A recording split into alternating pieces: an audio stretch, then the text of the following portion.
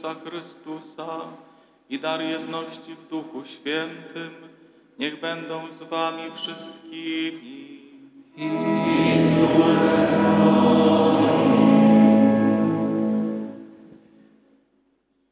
Na początku tej mszy świętej uznajmy przed Bogiem, że jesteśmy grzeszni, abyśmy mogli z czystym sercem złożyć najświętszą ofiarę. Spowiadam się Bogu Wszechmogącemu i Wam, bracia i siostry, że bardzo zgrzeszyłem myślą, mową, czynieniem i zaniedbaniem. Moja wina, moja wina, moja bardzo wielka wina, że to błagam Najświętszą Maryję za przeciwnicę, wszystkich aniołów świętych, i nas, bracia i siostry, modlitwę za mnie, do Pana Boga naszego. Niech się zmiłuje nad nami Bóg Wszechmogący i odpuściwszy nam grzechy, doprowadzi nas do życia wiecznego. Panie, zmiłuj się nad nami. Panie,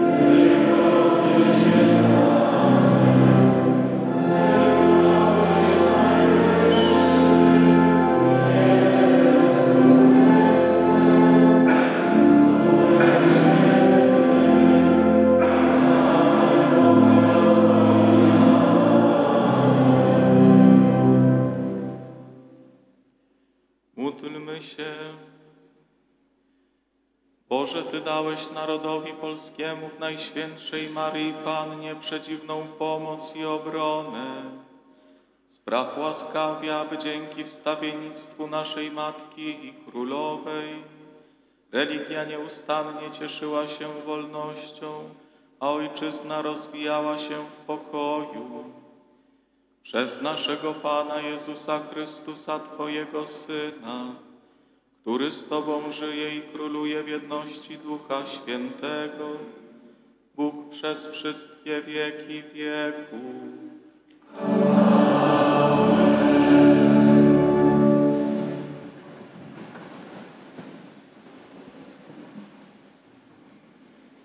Czytanie z Księgi Apokalipsy świętego Jana Apostoła. Świątynia Boga w niebie się otwarła i arka Jego przymierza ukazała się w Jego świątyni. Potem wielki znak ukazał się na niebie. Niewiasta obleczona w słońce i księżyc pod jej stopami, a na jej głowie wieniec gwiazd dwunastu. A jest brzemienna i woła, cierpiąc bóle i męki rodzenia. I inny znak się ukazał na niebie. Oto wielki smok, barwy ognia, mający siedem głów i dziesięć rogów, a na głowach jego siedem diademów. A ogon jego zmiata trzecią część gwiazd nieba i rzucił je na ziemię. I stanął smok przed mającą rodzić niewiastą, ażeby skoro porodzi, pożreć jej dziecię.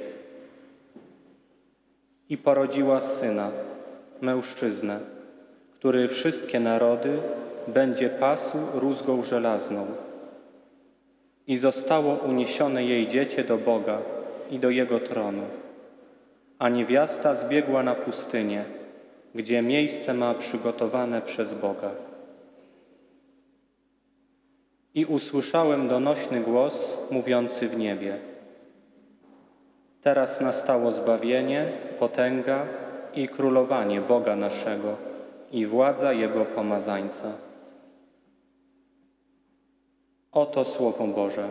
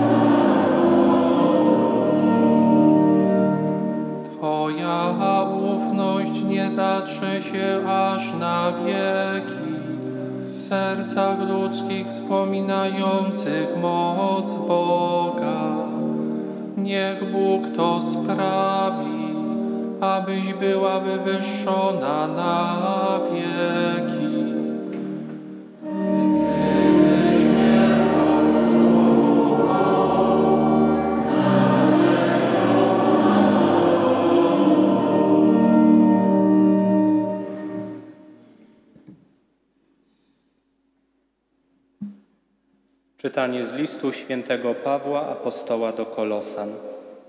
Bracia, dziękujcie Ojcu, który was uzdolnił do uczestnictwa w dziale świętych w światłości. On to uwolnił nas spod władzy ciemności i przeniósł do królestwa swego umiłowanego Syna, w którym mamy odkupienie, odpuszczenie grzechów. On jest obrazem Boga niewidzialnego, pierworodnym wobec każdego stworzenia, bo w Nim zostało wszystko stworzone. I to, co w niebiosach, i to, co na ziemi, byty widzialne i niewidzialne, czy to trony, czy panowania, czy zwierzchności, czy władze. Wszystko przez Niego i dla Niego zostało stworzone. Oto Słowo Boże.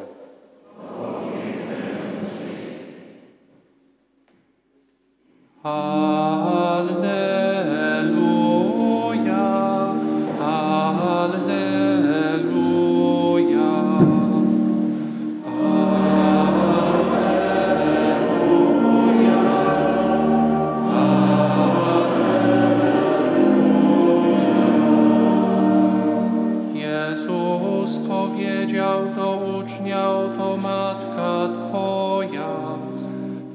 tej godziny uczeń wziął ją do siebie.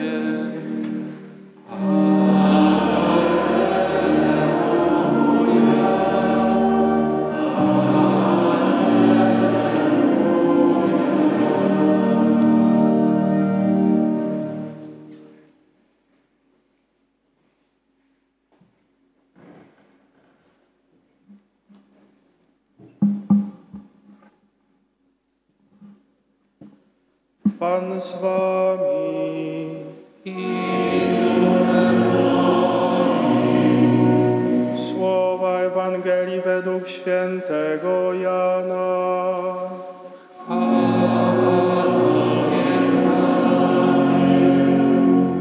Obok krzyża Jezusowego stały matka Jego i siostra matki Jego, Maria, żona Kleofasa i Maria Magdalena. Kiedy więc Jezus ujrzał matkę i stojącego obok niej ucznia, którego miłował, rzekł do matki: Niewiasto, oto syn twój. Następnie rzekł do ucznia: Oto matka twoja. I od tej godziny uczeń wziął ją do siebie. Oto słowo Pańskie.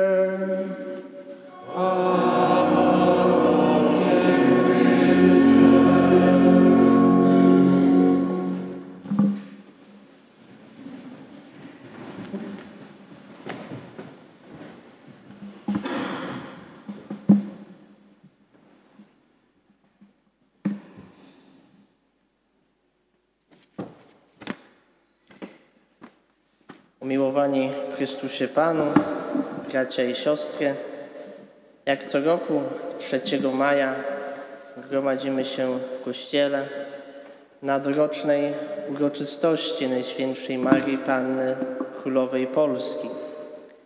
Ustanowił ją papież Pius XI w 1924 roku i polecił ją, aby ją obchodzono w dzień ustanowienia Konstytucji 3 maja, czyli 3 maja. Papież Jan XXIII z kolei ustanowił Najświętszą Marię Pannę Królową Polski, jaką też główną patronką naszej Ojczyzny. I w modlitwie na zakończenie obrzędów wstępnych celebrans mówił, prosząc Boga, aby religia cieszyła się wolnością, a ojczyzna bezpieczeństwem. A więc mamy dwie wielkie wartości, jakimi jest wolność i bezpieczeństwo, tak bardzo związane z naszym życiem i tak mocno oddziałujące na nas. Warto spojrzeć właśnie na nie tylko na dzisiejszą uroczystość, ale także na to, co my jako Polacy w jakiś sposób staramy się te wartości wcielać w życie i jaki to związek ma z naszą wiarą. W państwie obchodzimy dzisiaj święto Konstytucji 3 maja, rocznicy jej uchwalenia. I w preambule tej konstytucji czytamy, że religią narodową panującą jest i będzie wiara święta rzymska katolicka ze wszystkimi jej prawami. Przejście od wiary panującej do jakiegokolwiek wyznania jest zabronione pod karami apostazji. Że zaś ta sama wiara święta przykazuje nam kochać bliźnich naszych, przeto wszystkim ludziom, jakiegokolwiek bądź wyznania, pokój w wierze i opiekę rządową winniśmy i dlatego wszelkich obrządków i religii wolność w krajach polskich podług ustaw krajowych warujemy. Nasi ojcowie właśnie wyznali wiarę w to, co my dzisiaj wierzymy. My dzisiaj jesteśmy tutaj nie z powodu święta Konstytucji czy z nakazu Kościoła, że mamy dzisiaj uczestniczyć we mszy świętej, bo takiego nakazu dzisiaj nie ma. Ale jesteśmy tutaj, bo widzimy w naszej wierze pewien sens, pewną wartość, wartość naszego życia. I zobaczmy, że już w tej pierwszej konstytucji europejskiej jest poszanowanie nie tylko wiary katolickiej, chrześcijańskiej, ale także różnych innych wierzeń i obrządków. We współczesnej konstytucji z 1997 roku jest podobne, choć nieco inne stwierdzenie. W preambule czytamy, że w trosce o byt i przyszłość naszej ojczyzny, odzyskawszy w 1989 roku możliwość suwerennego i demokratycznego stanowienia o jej losie, my, naród polski, wszyscy obywatele Rzeczypospolitej, zarówno wierzący w Boga, będącego źródłem prawdy, sprawiedliwości, dobra i piękna, jak i niepodzielający tej wiary, a te uniwersalne wartości wywodzące z innych źródeł, równie w prawach i powinnościach wobec dobra wspólnego Polski, jesteśmy wdzięczni naszym przodkom za ich pracę, za walkę o niepodległość okupioną ogromnymi ofiarami, za kulturę zakorzenioną w chrześcijańskiej dziedzictwie narodu i ogólnoludzkich wartościach. Więc wiara chrześcijańska jest ponownie stwierdzona jako coś ważnego w naszej ojczyźnie. Choć oczywiście są tacy, którzy nie wierzą, są tacy, którzy w ogóle nie wierzą w istnienie Boga, czegoś transcendentnego. Każdy ma do tego prawa, każdy może wierzyć w co chce i jak chce. Jednak są pewne wartości, które wskazują na sens naszego życia, też na cel naszego istnienia. Wartości to pewne trwałe i ogólne ideały, które mamy, które dotyczą one pewnych sposobów naszego postępowania, myślenia, tak konkretnych osób, jak też i całych społeczności, właśnie narodów, państw. I każda osoba ma to prawo niezbywalne, aby decydować samo o swoim losie. Każdy naród ma to prawo, aby budować społeczeństwo w oparciu o wartości, które wspólnie wyznaje. Możemy wybrać, kim zostać, dokąd zmierzać, gdzie żyć, jakie obrać kryteria postępowania, kryteria podejmowanych przez nas decyzji i takich ludzkich, codziennych, zwyczajnych i tych życiowych. Wartości, one też nas odsyłają do celu ostatecznego naszego życia. Je odkrywamy, je wybieramy. One określają nasz sposób bycia. One są tym, co nas motywuje, tym, co możemy powiedzieć nas prowadzi. Życie bez nich jest praktycznie niemożliwe. Możemy powiedzieć, że każdy w coś wierzy, cokolwiek by to było, jakkolwiek to nazywa, ponieważ każdy z nas potrzebuje nadać życiu sens. Każdy potrzebuje uświadomienia, zrozumienia, po co tu jesteśmy, dla kogo tu jesteśmy, dlaczego istniejemy, dokąd zmierzamy. Jeżeli uszanujemy tę potrzebę, to pragnienie, to prawo, to będziemy mieli spójny obraz siebie, będziemy mieli spójną tożsamość. Tożsamość, która nie zmienia wartości co chwilę, co godzina, ale te wartości będą trwałe i będą kierowały ludzkim działaniem i myśleniem.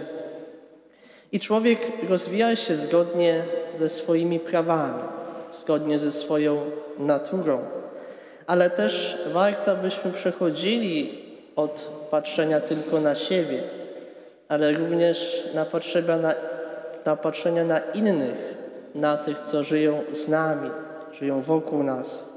Potrzeba pewnego przejścia od życia dla siebie do życia dla innych, dla drugiego. W końcu zobaczmy pierwsze i najważniejsze przykazanie od Boga, jakie mamy, to miłość Boga i bliźniego, a więc jest ukierunkowanie na innych, na drugich. I dojrzały człowiek potrafi spojrzeć w prawdzie wobec na siebie samego. Potrafi spojrzeć krytycznie na siebie samego, nie tylko na innych. Nam jest łatwo oceniać innych, ich osądzać, dostrzegać ich wady. Znamy wady naszej ojczyzny, naszych rodaków, ale znamy także ich zalety. Warto zawsze patrzeć na to, co dobre, na to, co buduje, co łączy, co jednoczy, a nie co dzieli. I dojrzały człowiek widzi swoje życie w prawdzie, analizuje swoje błędy, błędy po to, żeby się poprawiać, po to, żeby się rozwijać w swoim człowieczeństwie, swojej naturze. Dzisiaj możemy się chlubić tym postępem, jaki jest na świecie, postępem naukowym, technologicznym czy innym rozwojem w bardzo wielu dziedzinach życia. Chociażby wystarczy wspomnieć rozwój tego, co nazywamy sztuczną inteligencją. Choć naprawdę nie rozumiemy algorytmów, na podstawie których ona działa, i na chwilę obecną nie wydaje się, żebyśmy w ogóle to zrozumieli.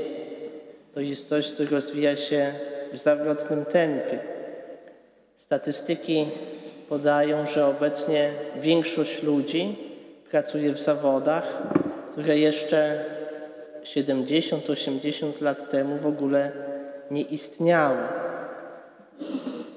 Najbogatsze firmy na świecie, wielkie korporacje jeszcze 30 lat temu nie istniały. To wszystko ukazuje nam, jak dynamiczna jest nasza rzeczywistość, jak bardzo zmienia się świat, w którym żyjemy. Potrzebujemy coraz więcej wiedzieć, potrzebujemy sobie zdobywać coraz większe umiejętności, aby móc odnaleźć się w tym świecie, w którym żyjemy. I te dynamiczne zmiany, one mogą budzić nasz niepokój. Mogą stawiać właśnie pytanie o sens tego, dokąd zmierzamy. I dojrzały człowiek żyjący według wartości potrafi spojrzeć w miarę obiektywnie na swoje życie. I trzeba się przyznać, że pomimo tego wielkiego postępu i zmian, jakie się dokonują, to tak naprawdę nasza wiedza o człowieku, o świecie, w którym żyjemy, czy o całym wszechświecie jest tak naprawdę mniejsza niż kropla w oceanie. To jest bardzo mały ułamek tej wiedzy, którą posiadamy o otaczającej nas rzeczywistości.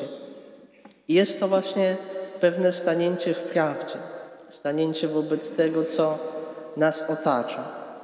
I dojrzałe przeżywanie naszych wartości oznacza, że wszystko w życiu jest im podporządkowane, na nie nastawione.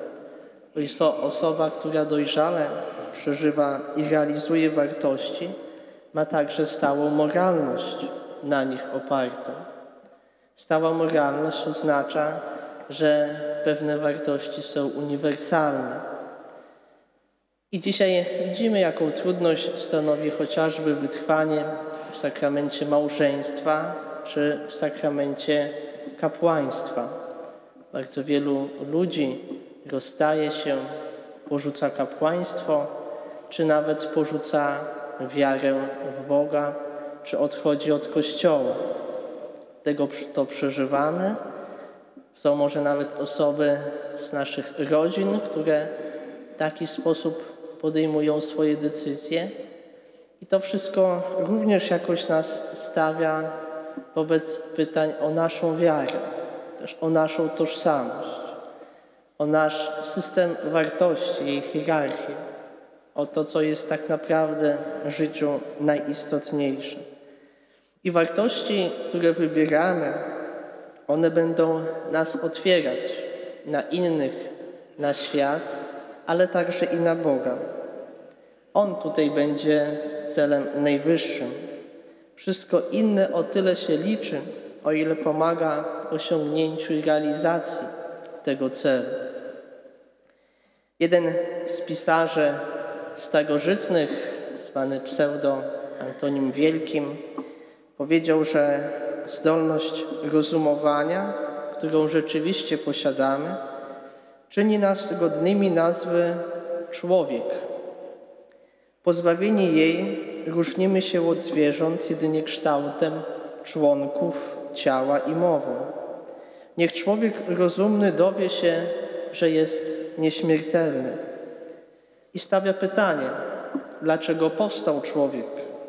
Aby pojmując dzieła Boga, dostrzegł Boga i wysławiał Go jako tego, który stworzył te dzieła ze względu na człowieka, a godny Bożej miłości umysł to niewidzialne dobro, dane przez Boga ludziom, którzy tego warci dzięki, warto- dzięki właściwemu sposobowi postępowania.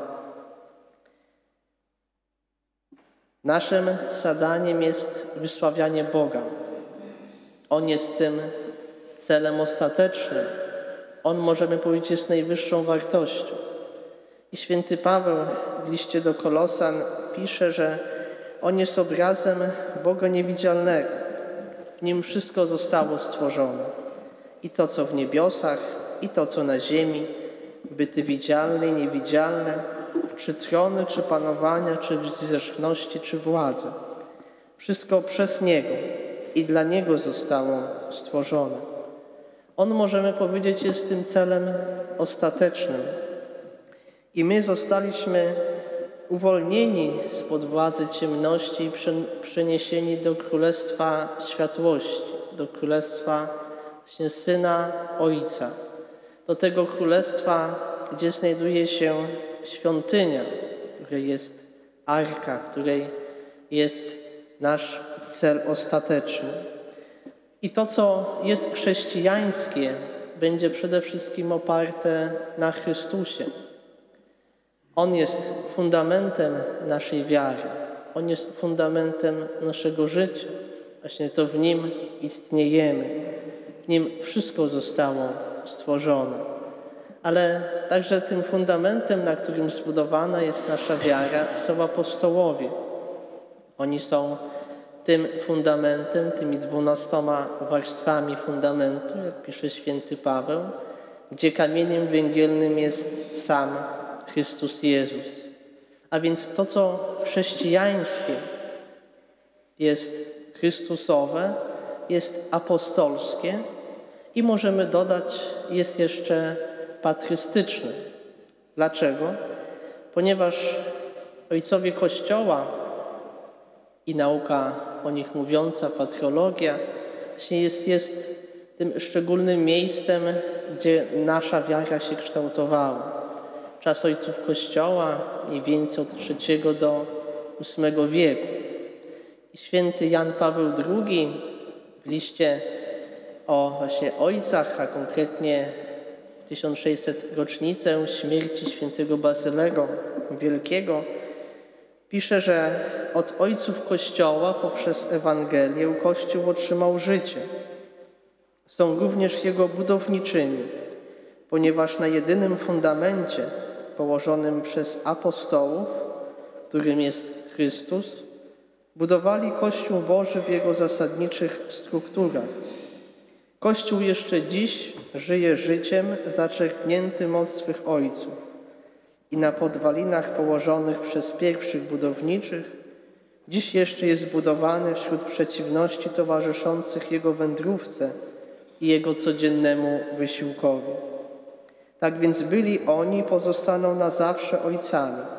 Sami bowiem są jakby stałą konstrukcją Kościoła, i poprzez wszystkie wieki pełnią dla Kościoła wierną służbę. Więc jak pytamy o naszą tożsamość chrześcijańską, o naszą wiarę, to ta wiara ma te trzy podstawowe elementy. I fundamentem jest Jezus Chrystus jako absolutny kamień węgielny. W nim zostało wszystko stworzone. Następnie jest, jest 12 warstw fundamentów, tradycja apostolska. I tym trzecim ważnym są ojcowie Kościoła, którzy uformowali dogmaty. To nasza wiara jest wiarą dogmatyczną. Dogmaty są oparte na objawieniu. I ojcowie Kościoła pomogli nam sformułować wyznanie wiary, które za chwilę będziemy odmawiać.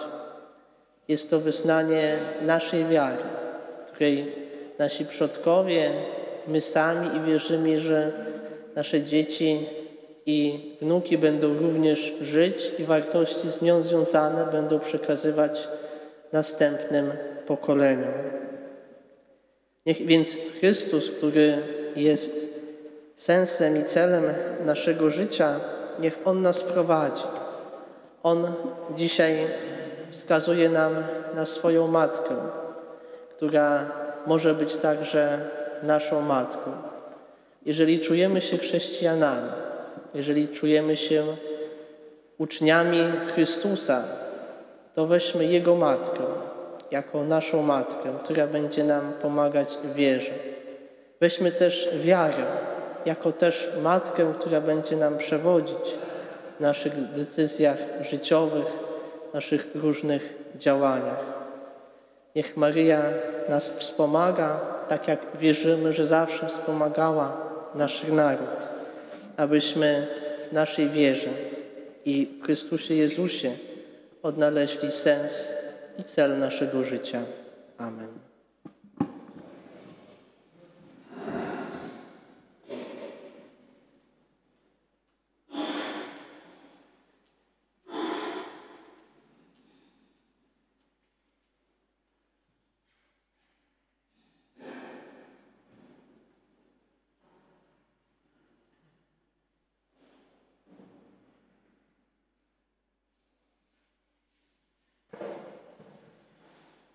Złóżmy teraz wyznanie naszej wiary. Wierzę w jednego Boga, Ojca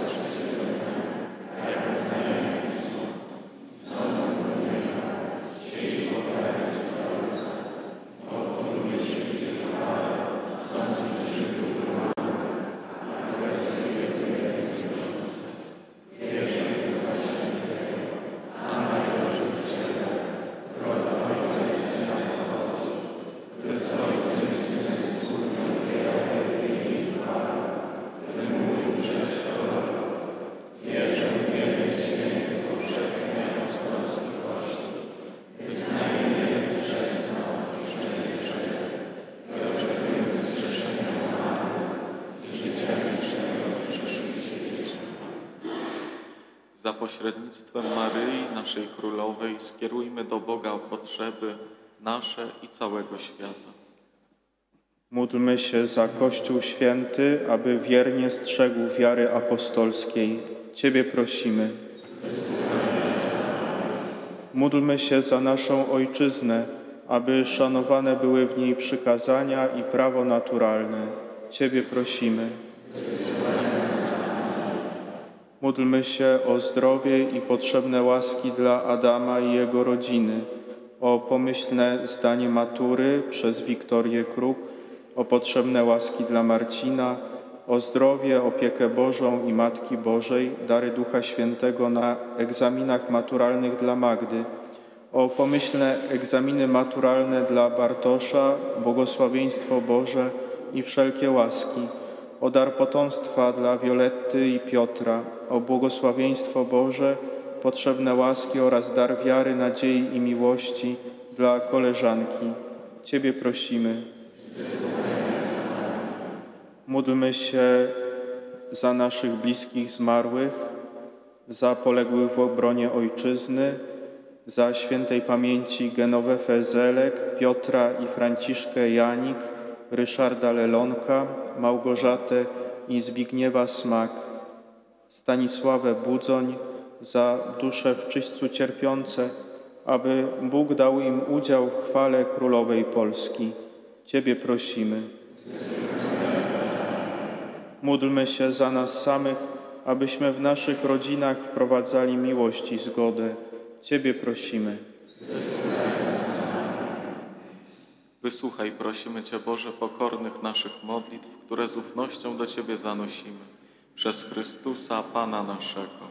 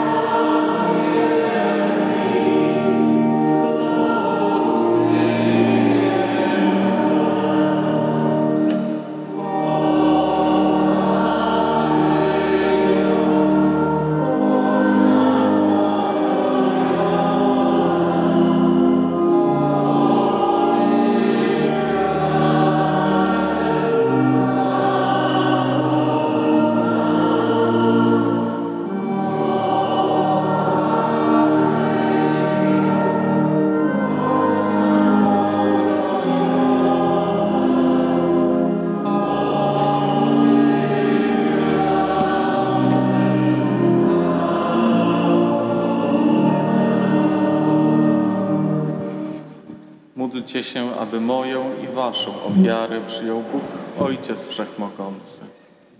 Pan przyjmie ofiarę z rąk Twoich, w cześć chwałę swojego imienia, także na pożytek nasz i całego Kościoła Świętego. Wszechmogący Boże, wejrzyj litościwie na modlitwy i ofiary swojego ludu i przez wstawiennictwo Najświętszej Maryi Panny Królowej Polski spraw, abyśmy sami stali się wieczystym darem dla Ciebie przez Chrystusa Pana naszego.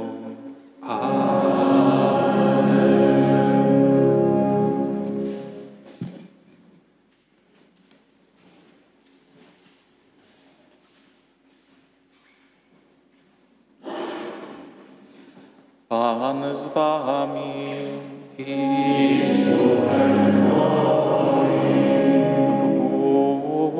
Serca.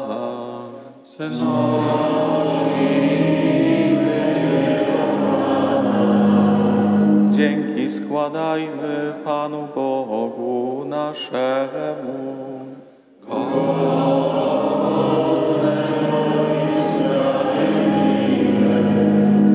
Zaprawdę godne to i sprawiedliwe, słuszne i zbawienne, abyśmy Tobie, Ojcze Święty, zawsze i wszędzie składali dziękczynienie i abyśmy Ciebie wielbili, oddając cześć Najświętszej Maryi, zawsze dziewicy.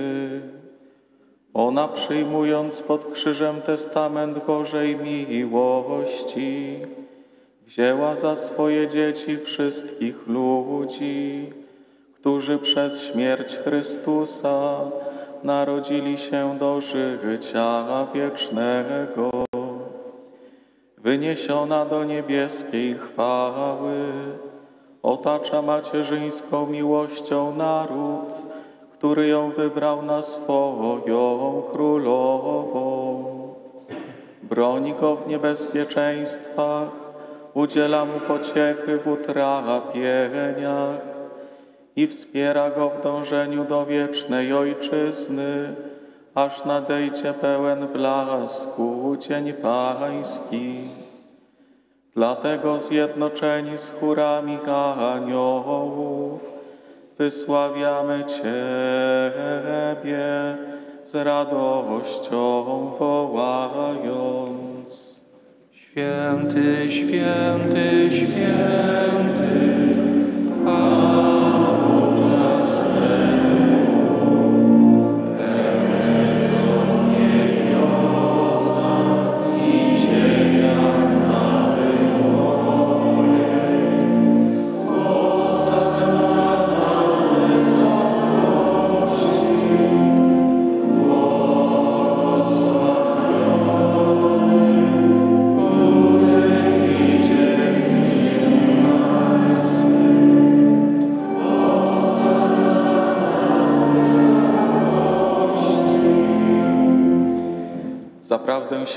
jesteś Boże i słusznie Cię sławi wszelkie stworzenie, bo przez Jezusa Chrystusa, Twojego Syna, naszego Pana, mocą Ducha Świętego ożywiasz i uświęcasz wszystko oraz nieustannie gromadzisz lud swój, aby na całej ziemi składał Tobie ofiarę czystą.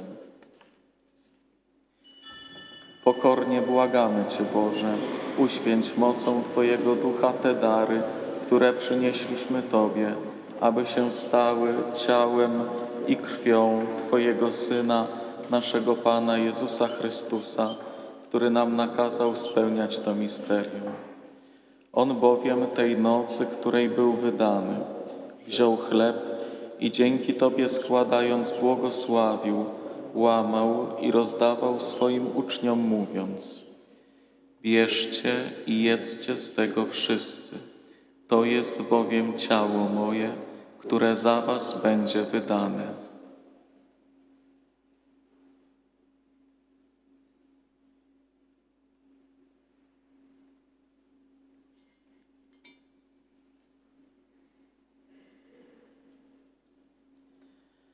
Podobnie po wieczerzy, Wziął kielich i dzięki Tobie składając błogosławił i podał swoim uczniom mówiąc Bierzcie i pijcie z niego wszyscy.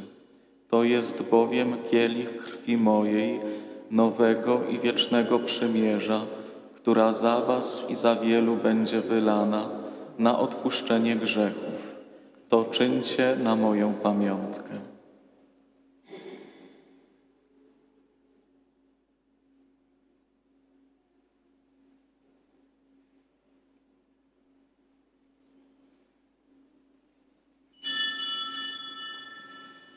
Wielka jest tajemnica naszej wiary. Ile razy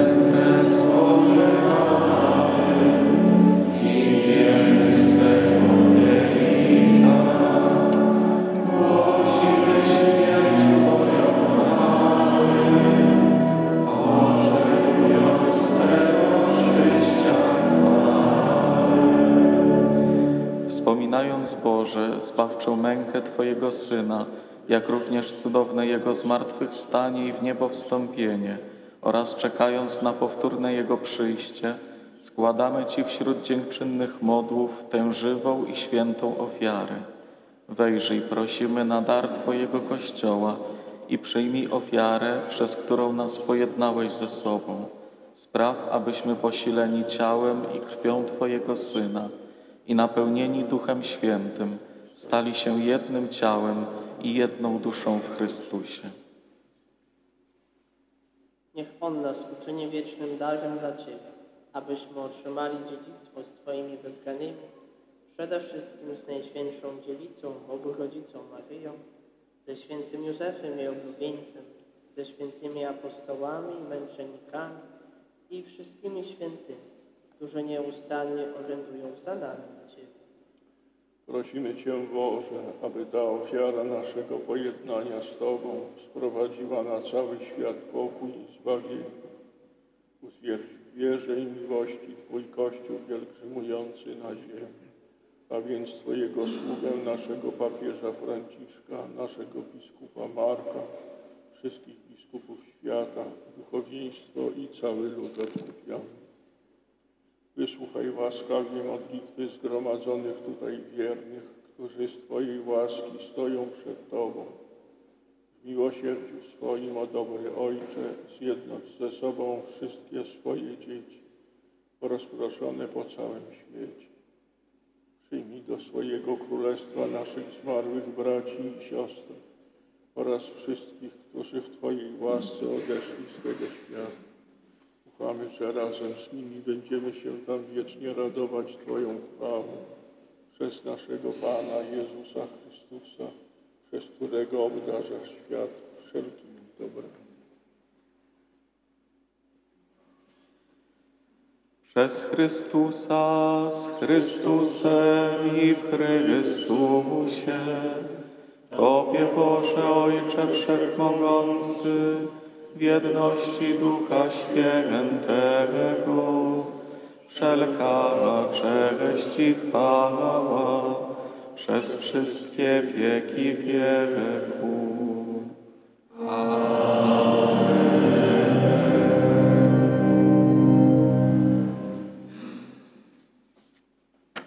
Nazywamy się dziećmi Bożymi i nimi jesteśmy, dlatego ośmielamy się mówić. Ojcze nasz,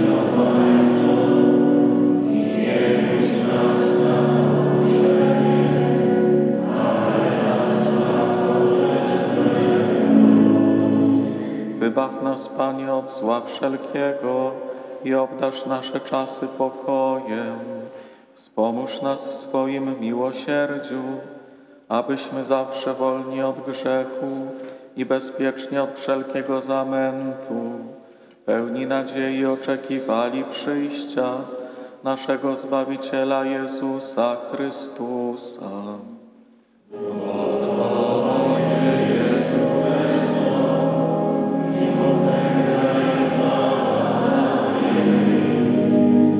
Panie Jezu Chryste, w dniu zmartwychwstania pozdrowiłeś uczniów słowami pokój wam. Prosimy Cię, nie zważaj na grzechy nasze, lecz na wiarę swojego Kościoła i zgodnie z Twoją wolą napełniaj go pokojem i doprowadź do pełnej jedności, który żyjesz i królujesz na wieki wieków. Pokój Pański niech zawsze będzie z Wami. Przekażcie sobie znak pokoju.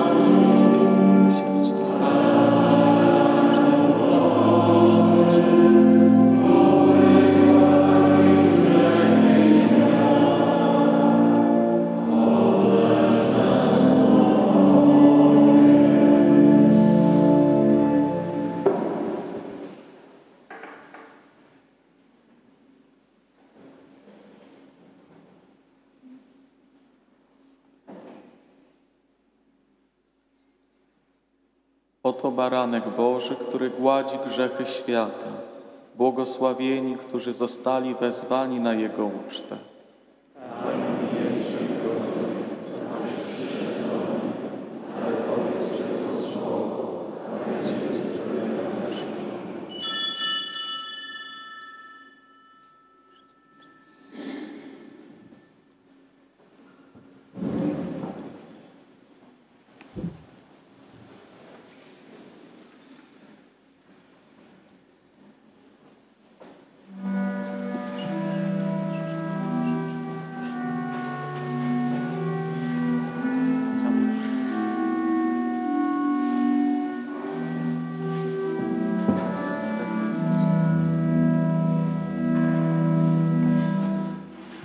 Chrystus Pan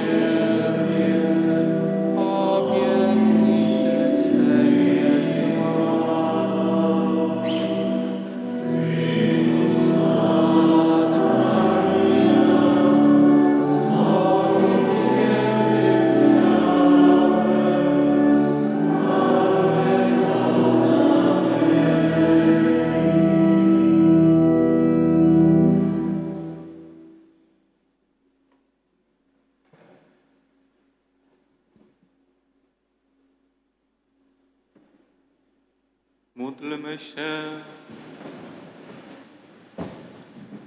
Boże nasz Ojcze, oddając cześć Najświętszej Maryi Pannie Królowej Polski, przyjęliśmy sakrament odkupienia. Spraw, abyśmy zostali napełnieni Twoją łaską i coraz głębiej uczestniczyli w tajemnicach zbawienia. Przez Chrystusa Pana naszego.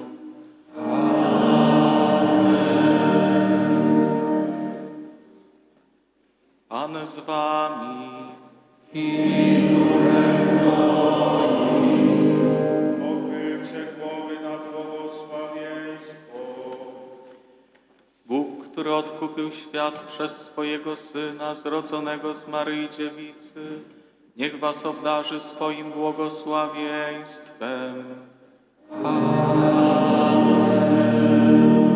Niech Was zawsze strzeże Maryja Dziewica, która zrodziła dawcę życia.